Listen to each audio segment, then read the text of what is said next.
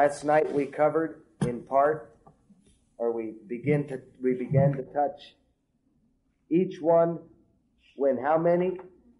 The how of the word over the world. That each one win one to the point of making initial contact through witnessing and follow through with under shepherding until that individual is able to stand on his own and win another. Remember people that we're not quantity minded. We're quality minded. We're concerned with the quality of the word living in individuals. First in you and then to move it. Okay. We're concerned with the word, the quality of the word living in people. We're not concerned about numbers, like I've said. And we're concerned, first of all, that that word lives in you. See, that it lives in us.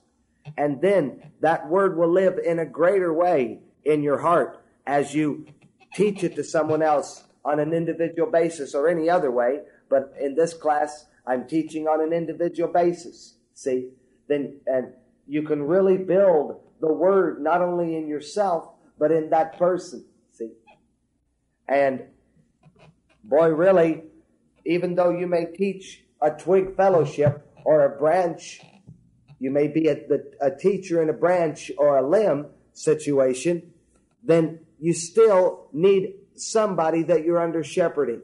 Maybe he's a real close person in the ministry that's helping you.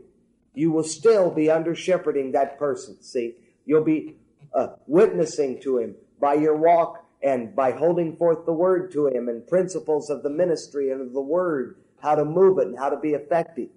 And you'll need, you'll be under shepherding. So this builds the word not only in you, but in the person that you're under shepherding, see, that you're working with. And this is, will always be true and it will always work this way that we, we build each other, see. The ministry works among each other and we build each other. And as you build, as you help somebody, you're not only helping that person, but you're helping yourself. As I teach you the word, I'm taught the word. You understand it? That's it. As I, as I love you, then I get love in return. I get love. See it? That's how it works. Giving people is one of the basics of life. Giving. Whether it's financially, whether it's the word, whether it's love, it's still one of the basis of life. Giving. What you give, you receive to the exact extent. And of course, when you give, the word says that God is able to do exceeding abundantly above all that we ask or think as we renew our minds. See? But God's abundance to his people and his blessings and his peace is unmeasurable. It's fantastic.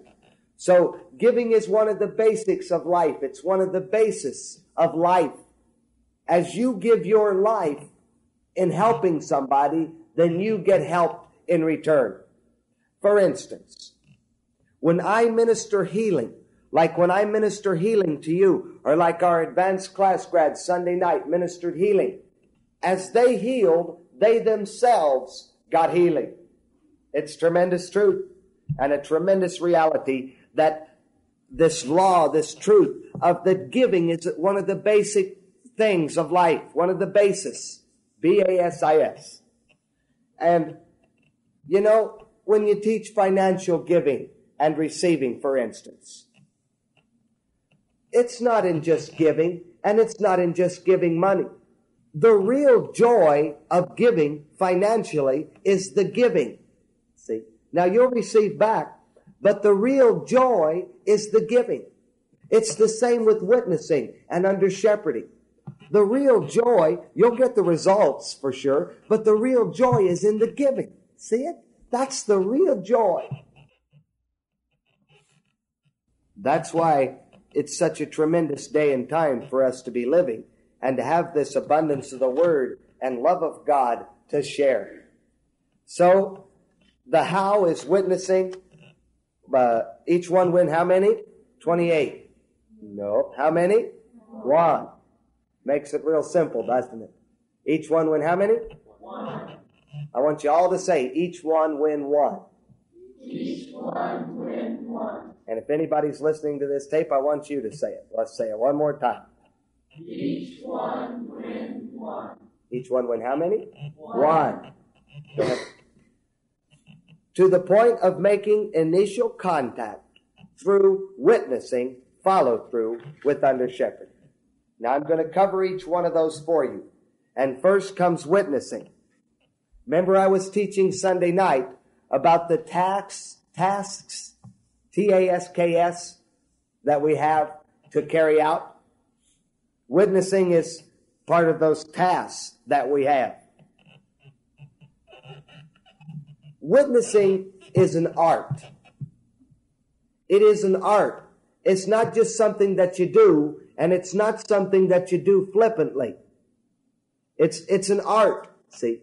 And you might think like Leonardo da Vinci. He mastered, at least in part, at least he got a masterpiece, see? You ought to take witnessing, and it's an art. You ought to take witnessing and master it. It is an art that anybody and everybody, Christian, can master. Of course, you know, whenever I speak, I, I'm talking about Christian believers. See, this is a class for Christian believers who want to help people, like I said. I guess for anybody else too. It's an art. And also, I might add, it's fun.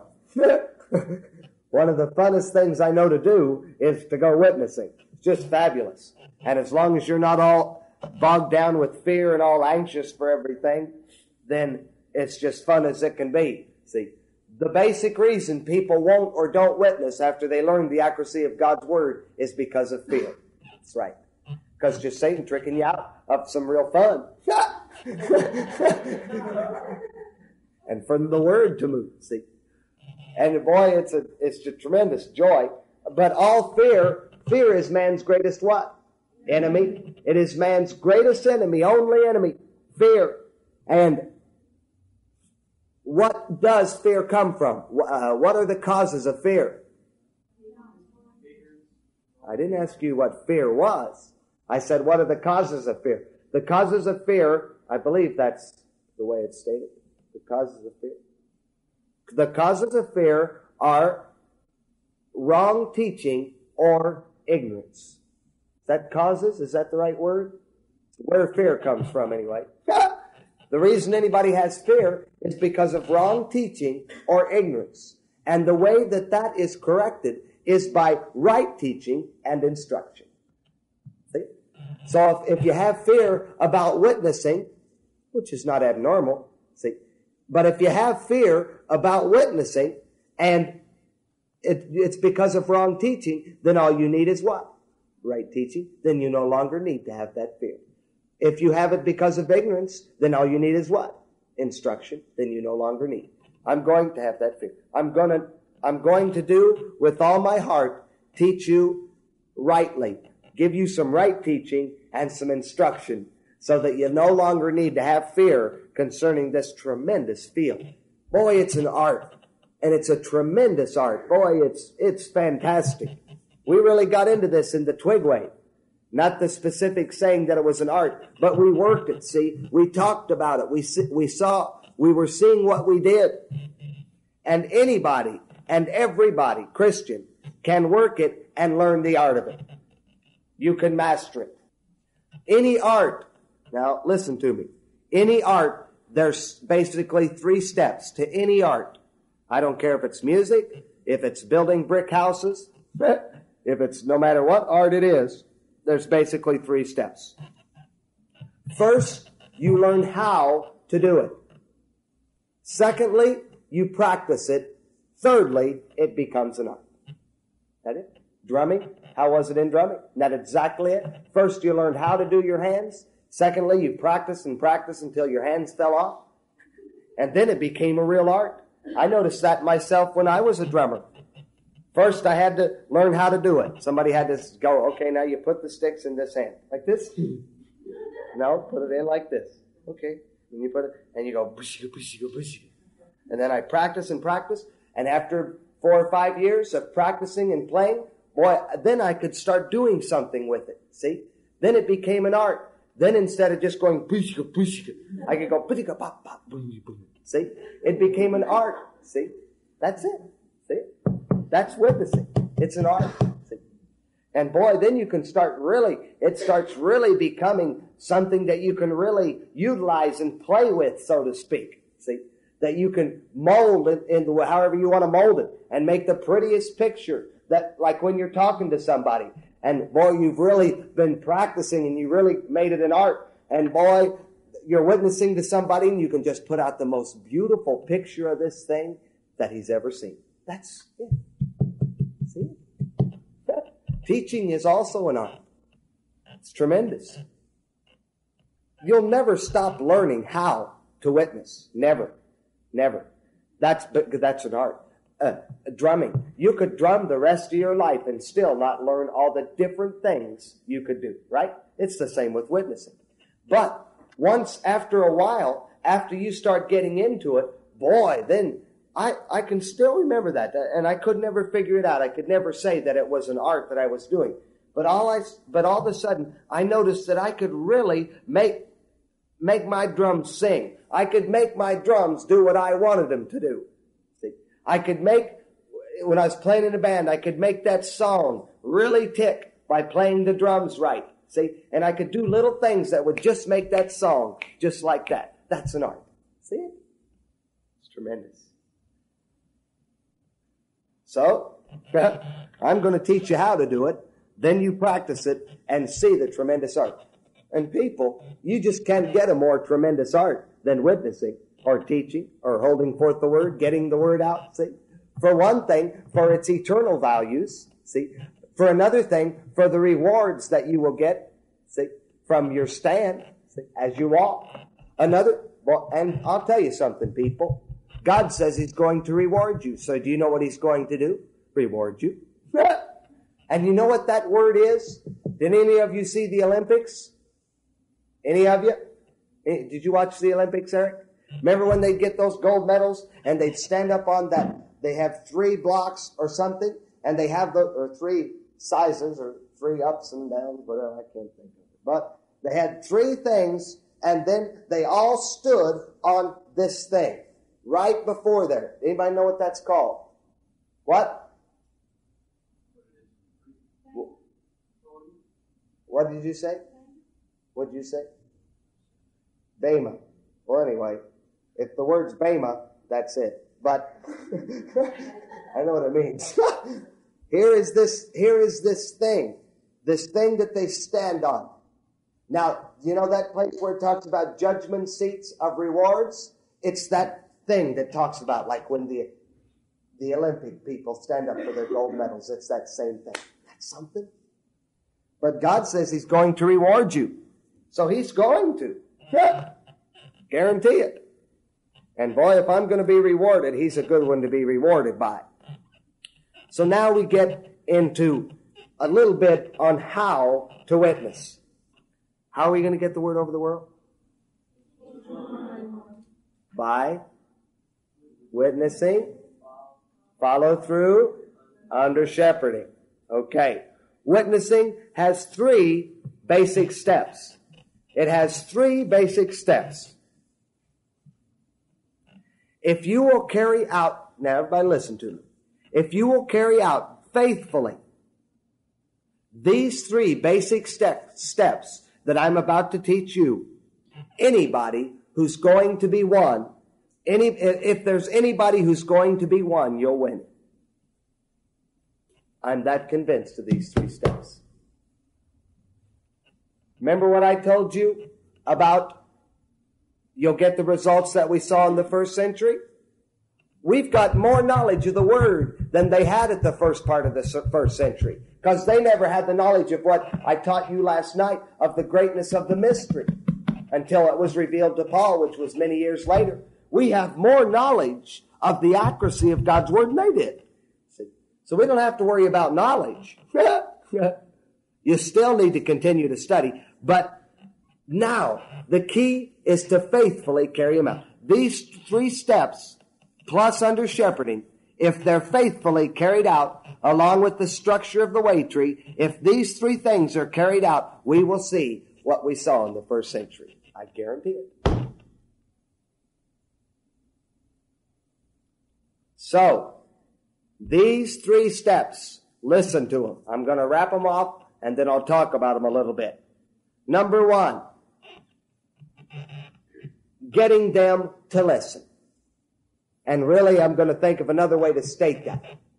As long as a person is listening, see, just listening, getting them to listen.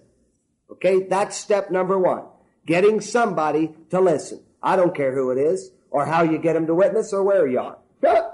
Just get somebody to listen. Then when you got them listening, hold forth the word. Then when you hold forth the word, you got to follow through. Those, there they are. Those three steps in witnessing. They're so simple. That'll cover every situation that you'll ever come across. I guarantee it. Just get them to listen. Once you've got them listening, hold forth the word with all boldness. And then, after you've got them to listen, after you hold forth the word with all boldness, then follow through with, then comes under shepherd.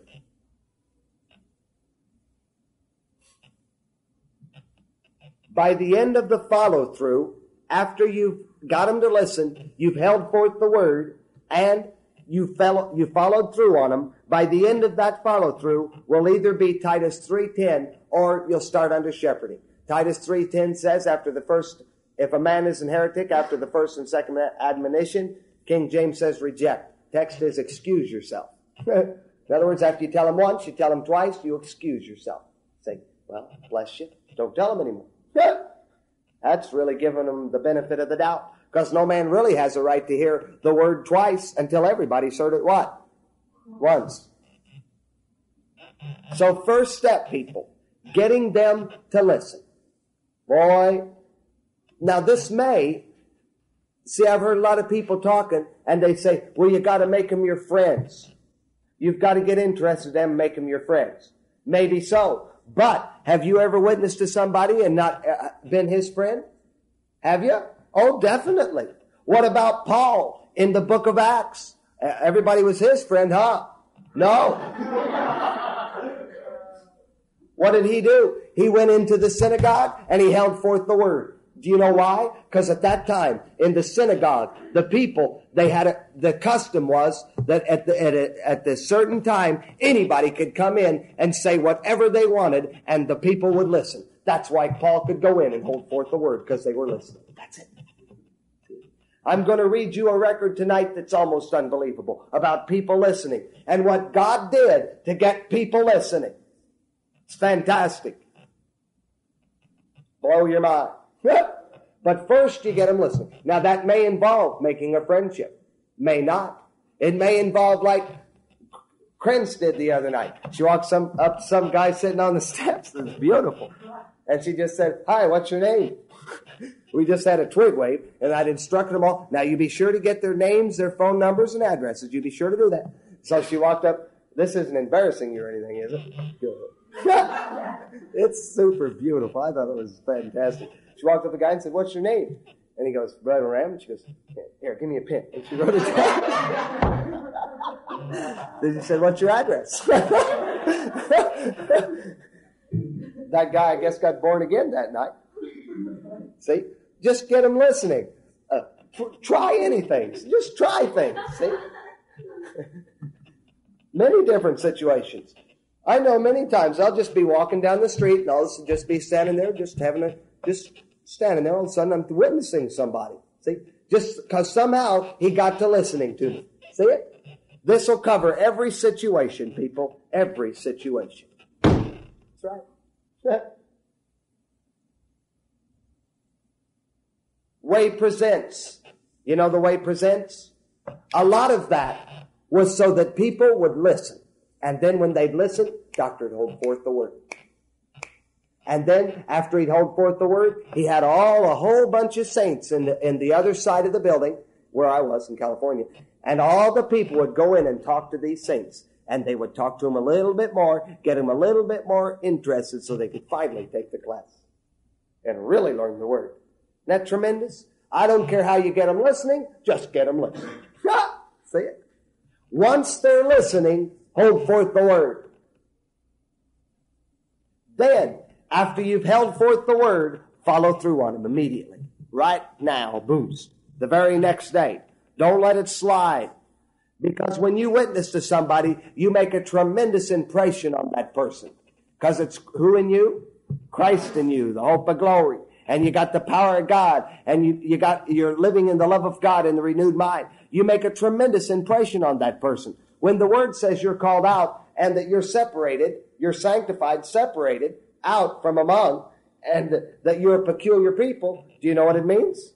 It means it. You are really separated. You're different.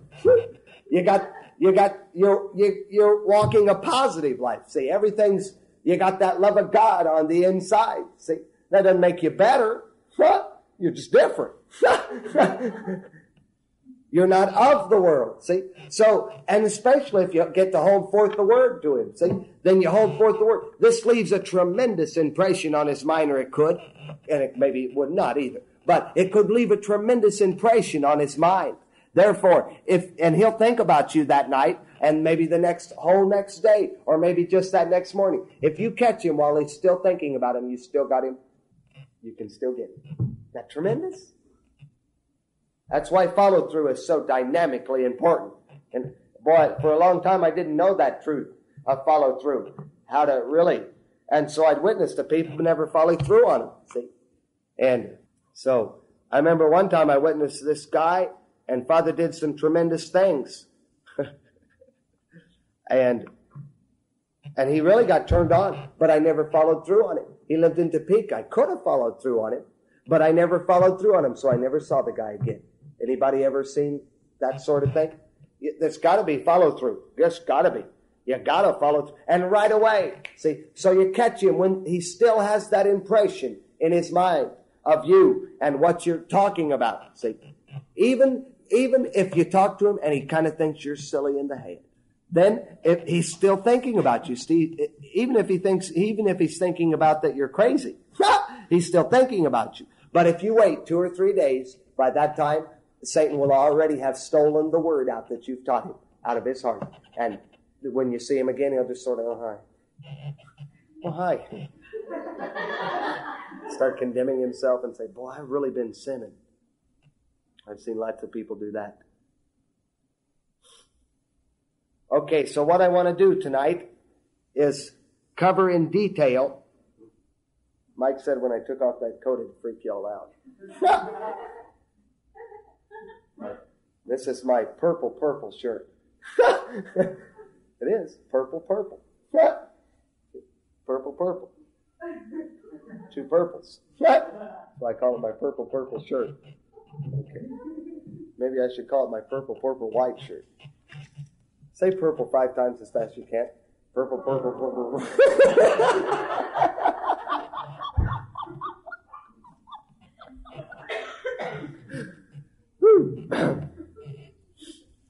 Okay, so now I want to cover getting people to listen, getting them to listen. Now this this entails a lot. There's a lot in this. But and I'm just going to be teaching you a lot of real tremendous things. But basically first and foremost what I want you to have in your mind is that you're the whole you're getting them to listen. Okay? Got it? Okay. Galatians chapter 5, please. Galatians chapter 5, verse 22. But the fruit of good works, oh, it doesn't say that, does it? Fruit of what? The Spirit. The fruit of the Spirit is love, joy, peace, long suffering, gentleness, goodness, believing, meekness, temperance. Against such there is no law. Okay, everybody look at it. Let's, let me ask you a question. Would you say people would like peace? Think they would? Do you think they like joy? Do you? You think they like love? How about long suffering? Being able to really forbear? Patience, in other words. How about gentleness, goodness, believing, meekness, temperance? Against such there is no law. See, a Christian is known in the senses world by the fruit of the Spirit that he bears. That's right. A Christian is known in the senses world not by the gifts he possesses or not by his abilities, but by the fruit of the Spirit that he bears. When you bear fruit, this is the, pr- when you, when you manifest Spirit, then you bring into evidence this, uh, Spirit of God on the inside, right? What God has put in here, when you manifest, you bring forth into the senses world, right? Now then, as you manifest and you bring forth into the senses world, you grow a grape. that bears fruit.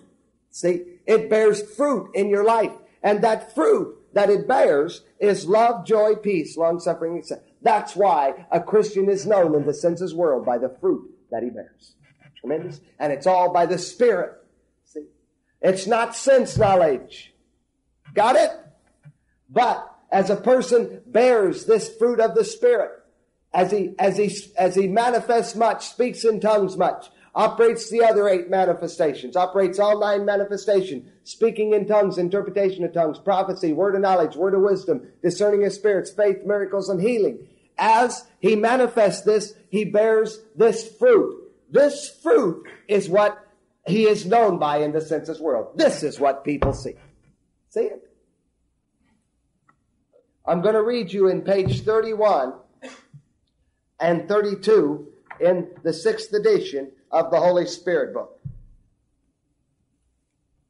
And I'll read page 30 with you, too.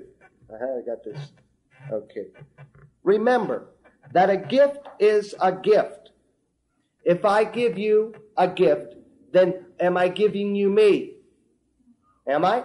No, I am the what? Giver. I am giving you a what? Gift. Now, when I give you that gift, whose gift is it? Yours. If I give it to you, it's now yours. It's no longer mine, so because I gave it to you, right? Okay. You may give your daughter a beautiful new dress, but she can take your gift, new dress, and sit down a mud puddle. she has the freedom of will to do this. Has she not? Has she? Oh, definitely. Because whose gift is it? Hers. It, but it behooves your daughter to respect your drift, gift and treat it accordingly. So it is with the gift of the Holy Spirit. It behooves the recipient to hold the gift in reverence. We are held accountable for the spiritual light we have and gifts we possess. A Christian is known in the senses world by the fruit of the Spirit that he bears, not by the gift he, gifts he has or has not received. See, he's known in the senses world by the fruit of the Spirit that he bears. All right. Now I'll be reading on page 31, second paragraph. The gift of the Holy Spirit is never given on the basis of human merit, but on the basis of grace, as the Bible so clearly teaches.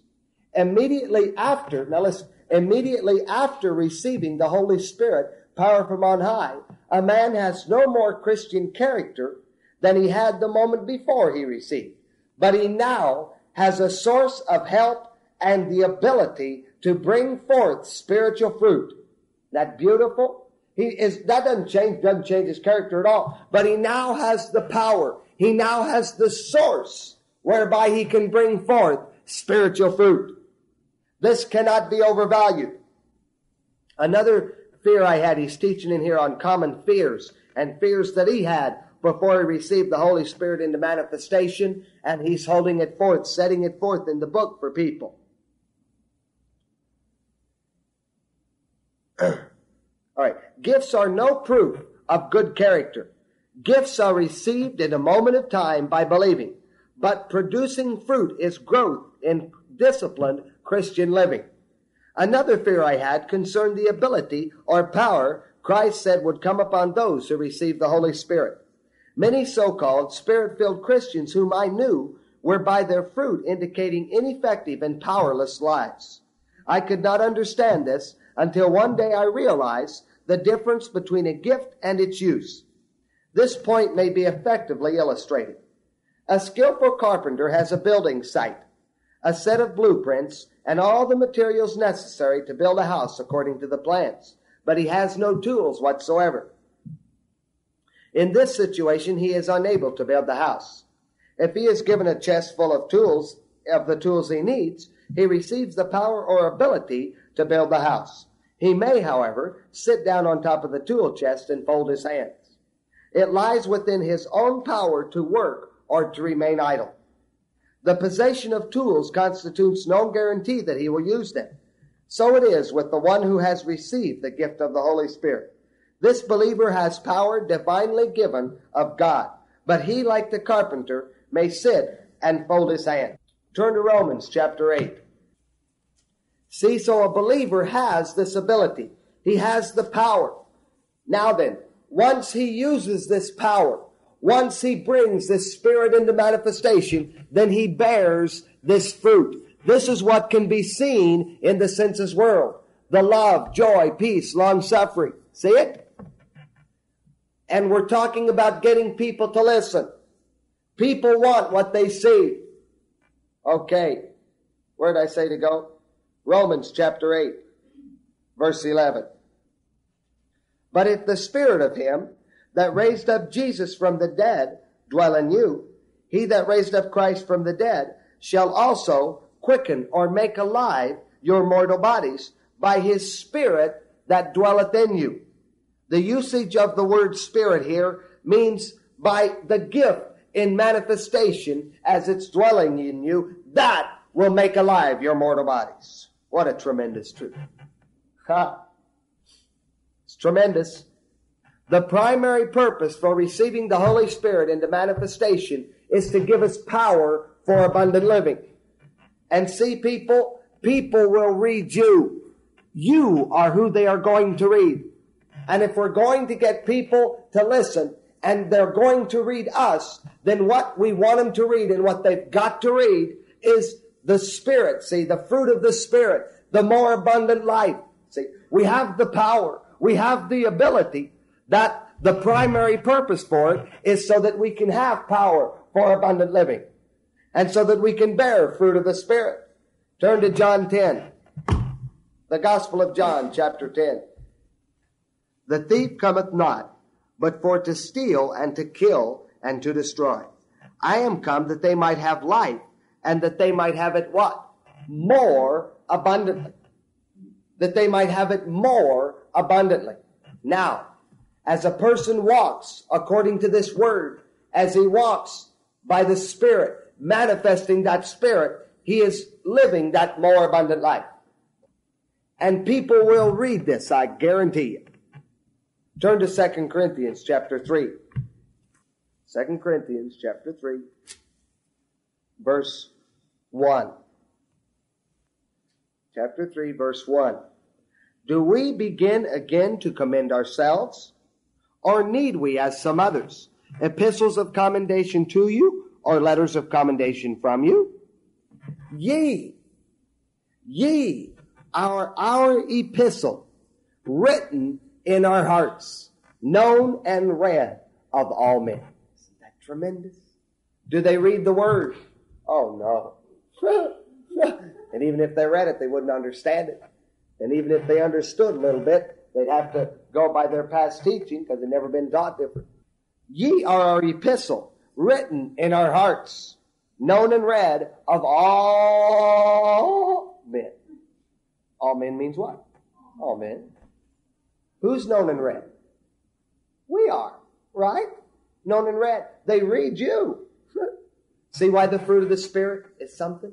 And see why ye are our epistle? Ye, what we have taught you, the word that we have taught you, that is written in your hearts. It's in your hearts, see? And this is what people will read. Really something. For as much, verse 3, as ye are manifestly declared to be the epistle of who? Christ. Ministered by who? Us, written not with ink, not with ink. I didn't write, walk up to Cindy now with a pen and go, not with ink, but with the Spirit of the living God. Not in tables of stone, Ten Commandment trip, old law, Ten Commandments, talking when it says table of stones, talking about Ten Commandments, not in tables of stone, but in fleshly tables of the heart or the renewed mind. That tremendous? Verse 4. And such trust have we through Christ to Godward. Not that we are sufficient of ourselves to think anything as of ourselves, but our sufficiency is of who? Who also hath made us able ministers of the New Testament, not of the letter, but of the what? Spirit. For the Spirit, uh, for the letter what? Killeth. Letter of the law. But the Spirit, the Spirit giveth life. Tremendous. And ye are our epistles written in our hearts. People want what they see. You are going to be what they read. Your life is the most tremendous witness. This will be getting them to listen because they see you. You're a written epistle. You're, they read your life, see? Okay. I want to ask you a question. When you look at a tree, what's the first thing you see? What's the first thing you see? The leaves. What, that's it. When you look at a tree, the very first thing you see is that beautiful leaf or an apple sitting up there, the fruit. See, that's the, that's the people. See, that's the people. The leaves. That's what you see. That's what people see. They'll see that fruit of the Spirit. They'll see that word living in your heart. So as a person walks and he is manifesting the power of the Holy Spirit, he's walking in the love of God and the renewed mind, then this is what people read. And this gets them to listen. This is building hunger, see? They'll, they'll read you and then want what they see if they're hungry. If they really want this kind of thing, they may not want it, but, but that's what they'll read. See? A lot of people really get sort of tripped on this. They say that they always have to be holding forth the word, always saying the word to somebody. That's not true. Because just your life, they read it. Just your very presence is a tremendous blessing to the place. See? Because who's in you? Christ in you. And you believe God's word and you walk on it. That's tremendous. See? And people read that. They read your life. This is the witness. Okay. Now then I also want to talk about building hunger in an area or community. This also is involved in getting people to listen. Because if you build hunger in an area, if you see the things that I'll be teaching you, then the people will begin to hearken their ears more because they'll see there's something much more to this thing than meets the eye. In the first century, as the ministry grew, the believing of the people grew. As the ministry grew, as the believers grew, then the believing of the people grew. Not only in the people, but in the whole area to some extent. Literally, signs, miracles, and wonders cause people to believe. Signs, miracles, and wonders cause people to leave, to believe, causes them to listen. Turn to Acts chapter 5, verse 12. And by the hands of the apostles were many signs and wonders wrought among the people. By the hands of who? The apostles. Were many signs and wonders wrought among the people. And they were all with one accord in Solomon's porch and of the rest durst no man join himself to them. But the people magnified them.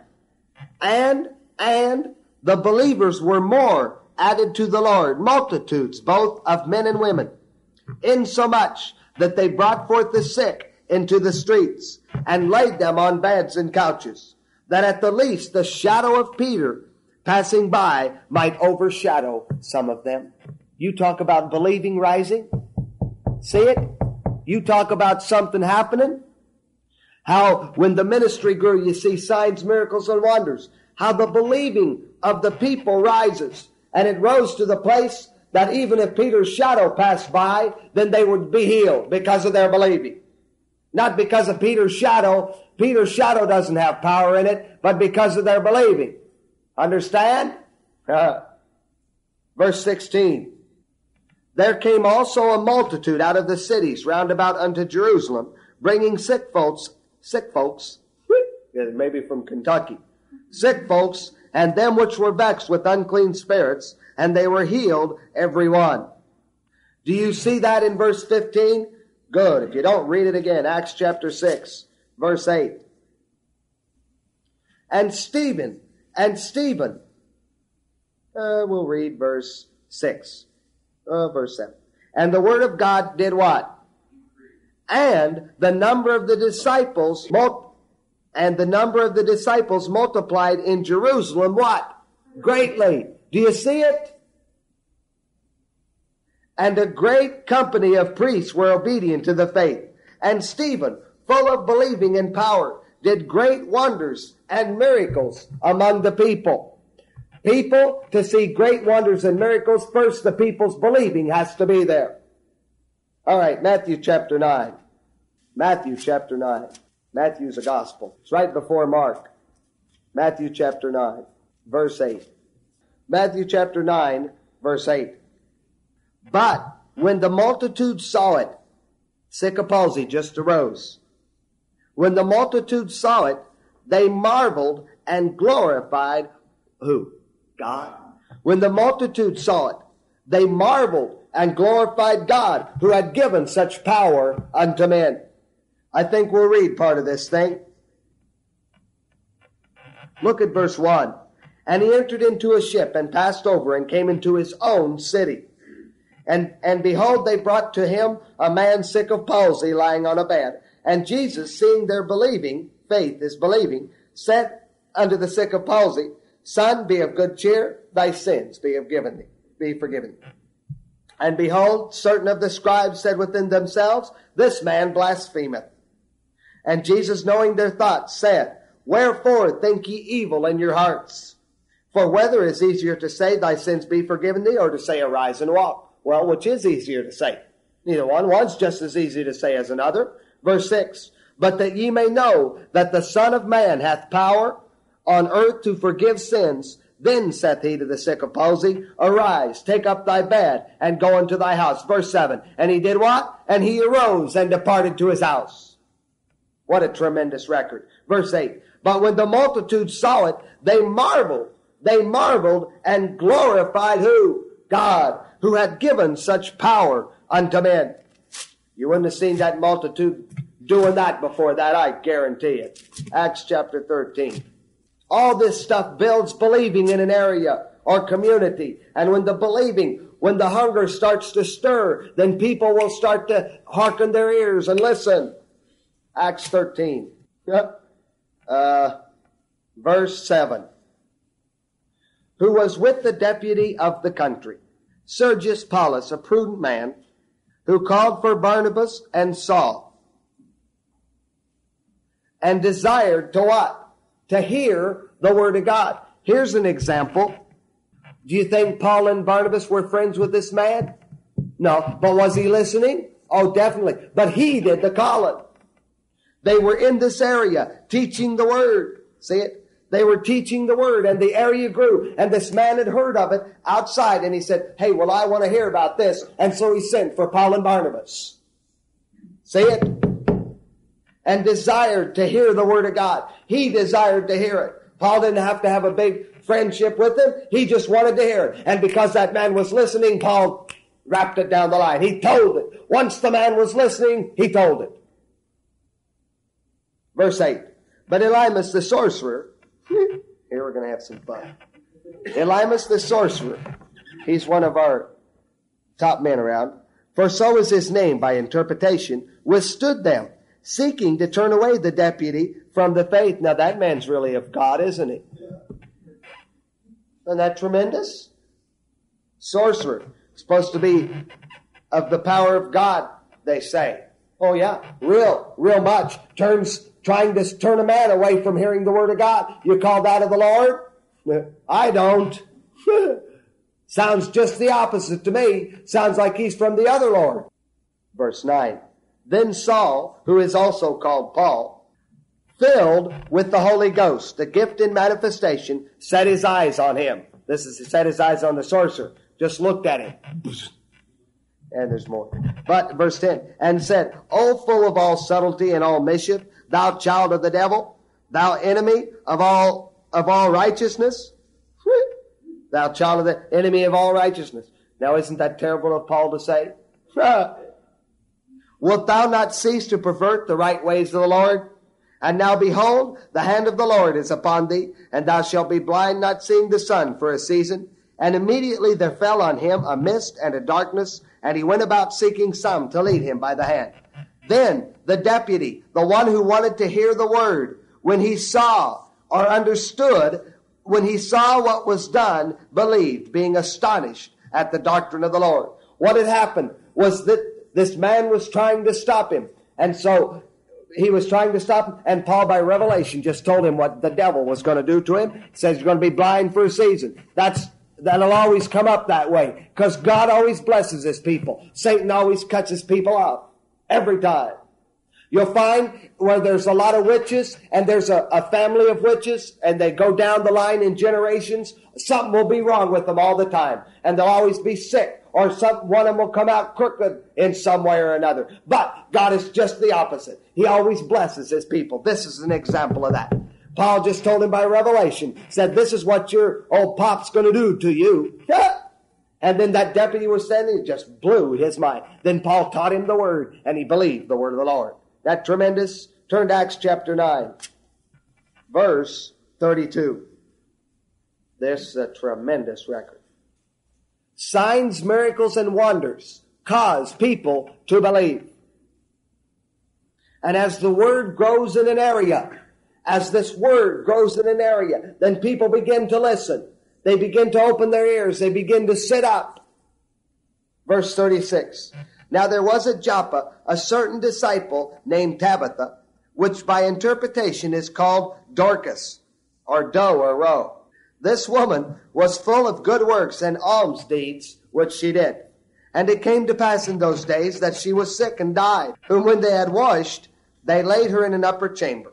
And for as much as, as uh, Lydda was near to Joppa, and the disciples had heard that Peter was there, they sent unto him two men desiring him that he would not delay to come to him, come to them. Then Peter arose and went with them. When he was come, they brought him into the upper chamber, and all the widows stood by him weeping and showing the coats and garments which Dorcas made while she was with them. But Peter put them all out, put them all forth, and kneeled down and prayed. And turning him to the body, turned to the body, said, Tabitha, arise. And she opened her eyes. Isn't that tremendous? What was she? Dead? Did everybody in the house know that? Oh, yeah. And he had them all put forth. And he just turned to her and said, Tabitha, arise. And she opened her eyes. And when she saw Peter, she sat up. Now that would freak out some of these people, wouldn't it? And verse 41, he gave her his hand and lifted her up. And when he had called the saints, when he had called the saints and widows, presented her alive. Could you imagine that? And it was known throughout all Joppa, and many did what? Believed in the Lord. I told you. There it sits, just like a diamond. What happened? A, a girl was dead. A lady was dead. Peter came in, raised her from the dead. And you know what happened? It was known throughout all Joppa. The word spread, probably on the housetop. The word spread throughout all Joppa, and many believed in the Lord. Just like that. Told you. All right. Now look at verse 32. And it came to pass, as Peter passed throughout, this is before, all quarters, he came down also to the saints which dwelt at Lydda. And there he found a certain man named Aeneas, which had kept his bed eight years and was sick of palsy. And, P- and Peter said unto him, Aeneas, Jesus Christ maketh thee whole. Arise and make thy bed. And he what? Arose immediately. How long had he been with palsy? Eight years.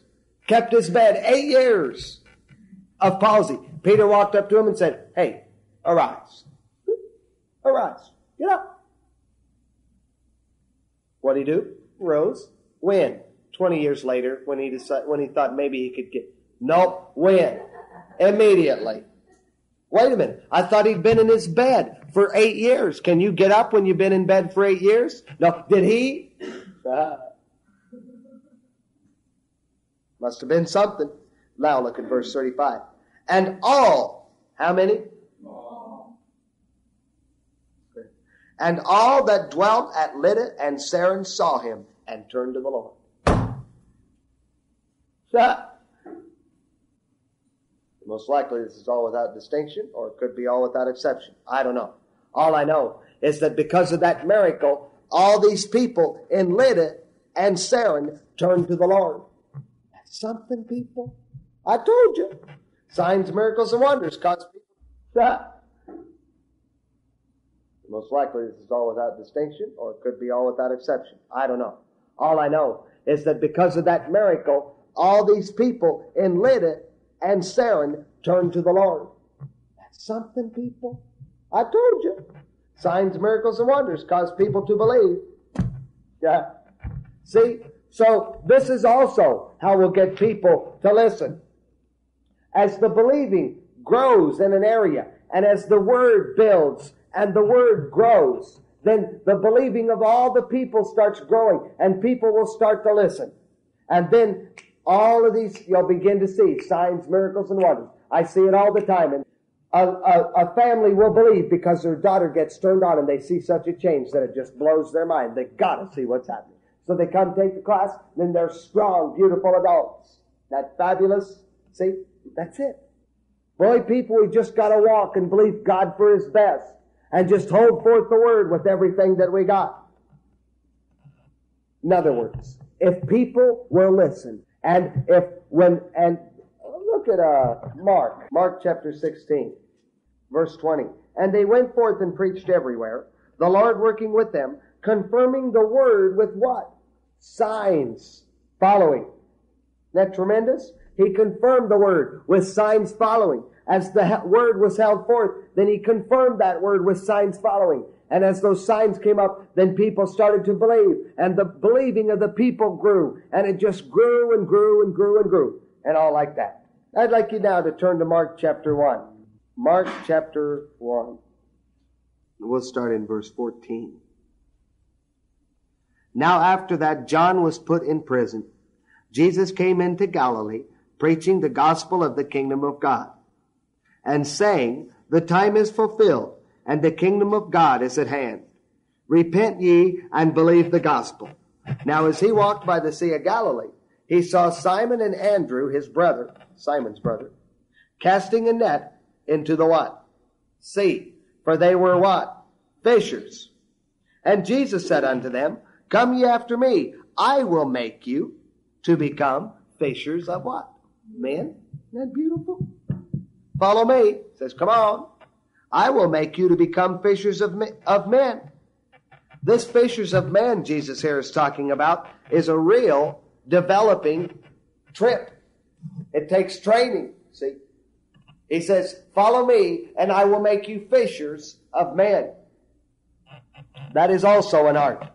This has a lot of the art to do with witnessing. Turn to Luke. Luke chapter 5.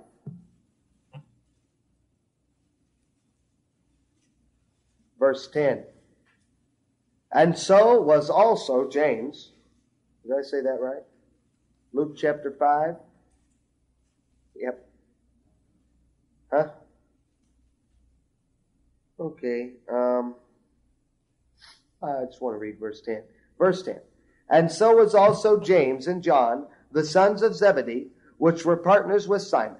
And Jesus said unto Simon, Fear not, from henceforth thou shalt catch men. That beautiful? Thou shalt catch men. Just told him we're going to be fishers of men, right? All right. If we're fishers of men, then uh, we got to be good fishers. you got to have bait to be a fisher. You got to know how to fish. All these tremendous things. And he said, see, this record that we just read was where uh, Peter and John or, or Andrew or somebody was out in the boat, and Jesus came up and said, "Hey, put your net on the other side. Put, uh, put your nets on the other side." So they said, "Okay, Lord," and they put their net on the other side. Jesus said put nets, but they only put one down because they've been fishing all night. I mean, you know, who's, you know, put I've been fishing on that side and fishing on this side and fishing on that side and fishing on this side. And Jesus comes along and says, he's standing on the shore and I just don't know if they know it was him yet. I don't think so. But anyway, he yelled at him. He says, hey, put your nets on the other side. So they go, well, okay, we, we'll do it, but we'll just put one net, just so we don't, you know, it's, too many. So they put it down, and they got more fishes than they ever got, so that it swamped the boat, and then about tore all the net up, and it ah, about pulled them all in. It was a huge multitude of fish.